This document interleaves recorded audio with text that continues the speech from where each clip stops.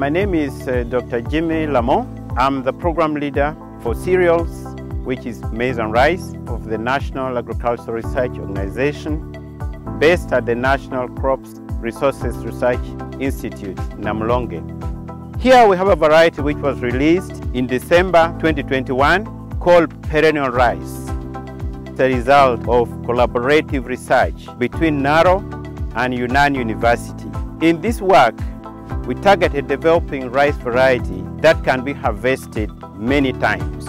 We gave a commercial name called NARO Rice 1. Rice variety is the first of its kind in Africa. A variety that after harvesting a first time, you allow it to regrow, that is ratooning, and you get more than 50% of the first yield. And we are happy to mention that the parent used from this for development of this variety is from Africa, the one called Oryza longistaminata. The science used in the development brought in Beijing Genomic Institute, helped in fixing the new line so that we had accelerated breeding and getting a new variety as fast as we have seen.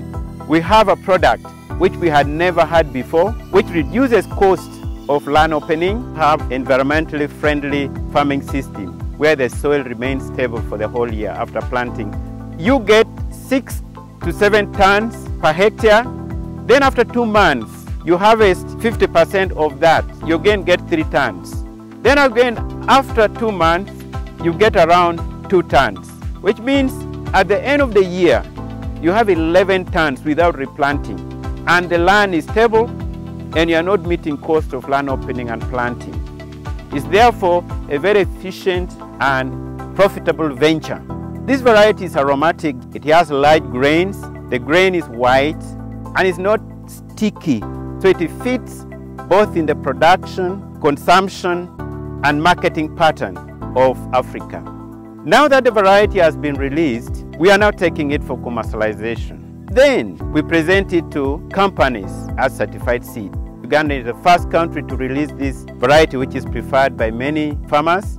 This variety development has strengthened the collaboration between Uganda and China and African countries. And we encourage the public, scientists across borders, that Uganda has taken lead in a product that will create a revolution in the rice industry and food security.